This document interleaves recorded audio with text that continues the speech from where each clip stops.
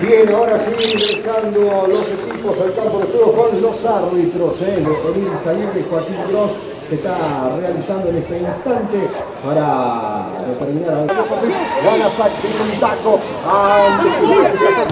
Se lleva la pelota.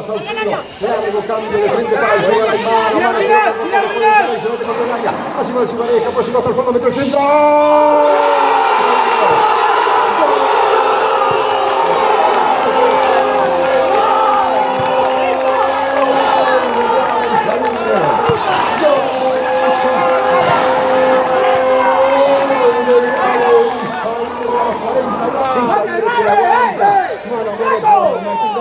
Corría, corría, tiene la pelota en el córner, no.